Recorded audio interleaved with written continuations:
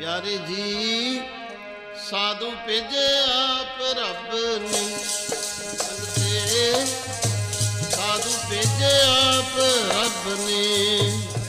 ਸਾਲਾਨਾ ਬਰਸੀ ਸਮਾਗਮ ਸੱਚਖੰਡ ਵਾਸੀ ਗਮ ਗਿਆਨੀ ਸ਼੍ਰੀ ਮਾਨ ਸੰਤ ਬਾਬਾ ਗੁਰਦੀਪ ਸਿੰਘ ਜੀ ਦੀ ਮਿੱਠੀ ਯਾਦ ਨੂੰ ਸਮਰਪਿਤ ਮਹਾਨ ਗੁਰਮਤਿ ਸਮਾਗਮ 23 ਅਤੇ 24 ਤਰੀਕ ਨੂੰ ਮਨਾਇਆ ਜਾ ਰਿਹਾ ਹੈ, ਜਿਸ ਵਿੱਚ ਪਹੁੰਚ ਰਹੇ ਖਾਲਸਾ ਪੰਥ ਦੇ ਸੰਤ ਮਹਾਪੁਰਸ਼ ਕੀਰਤਨੀ ਜਥੇ, ਕਥਾਵਾਚਕ, ਢਾਡੀ, ਕਵਿਸ਼ਰ ਸੰਗਤਾਂ ਨੂੰ ਗੁਰਬਾਣੀ ਸੁਣਾ ਕੇ ਨਿਹਾਲ ਕਰਨਗੇ ਅਤੇ 24 ਤਰੀਕ ਨੂੰ ਅੰਮ੍ਰਿਤ ਸੰਚਾਰ ਹੋਵੇਗਾ ਜੀ।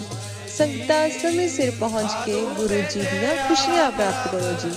ਮੌਜੂਦਾ ਮੁਖੀ ਬਾਬਾ ਸਤਨਾਮ ਸਿੰਘ ਜੀ ਬੇਨਤੀ ਕਰਤਾ ਗੁਰਮੁਖ ਰਹਾਨੀ ਮਿਸ਼ਨ ਗੁਰਦੁਆਰਾ ਈਸ਼ਰ ਪ੍ਰਕਾਸ਼ ਖੂਬੀਆ ਨੰਗਲ ਬਿਲਾਸਪੁਰ ਰਾਮਪੁਰ ਯੂਪੀ